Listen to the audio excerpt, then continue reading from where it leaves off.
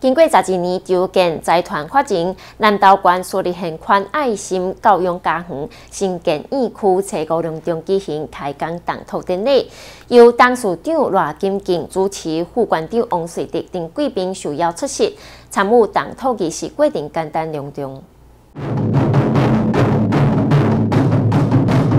树立现款爱心教育家园新建院区开工动土典礼。在普台高中闪歌队的精彩表演之下，留在进行。工程顺利，圆满平安。好，感谢今天的长官贵宾呢。我目前呢，建筑经费是一亿五千三百万。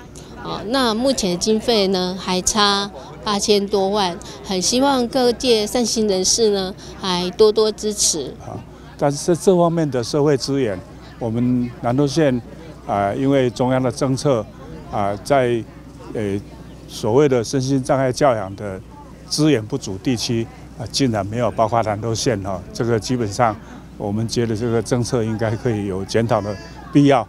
因为中央的政策，南投县无多列入身心障碍教养资源不足的地区，期待社会各界伸出援手，帮助县款完成新义区的兴建。所以讲嘛，而且啊，请咱。社会吼，咱公司行好啦吼，咱所有的社团来咱来改斗卡手预准一寡经费吼，互伊的即个兴建的工作吼，会当顺利来完成。像罗当处长嘛，非常的用心吼，啊，全新的投入啊，一寡工作吼，国家做未到的，啊，是讲做未到的，上过基站的吼，啊，因来帮忙来处理吼，啊，真的感谢因的付出吼。所以讲啊，有一个好的环境，啊，有一个永远。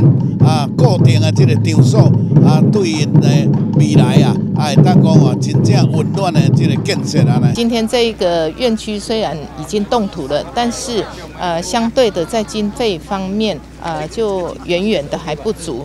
大约有八千万的这一个缺口，要呼吁中央与地方，我们大家共同协力，因为呢，这个教委院其实是在帮我们社会解决问题。那特别是中央呢，它有一个条例，针对于这个资源严重不足的这样子的县市，它可以给予更多的补助。所以我希望未来呢，我们朝这方面来努力哈。陪伴身心障碍囡仔是一条辛苦的路，需要结合公司部门真济方面的人力物力。啊，有财力的支持，再当为因打造一个安全无障碍、优先生活的空间。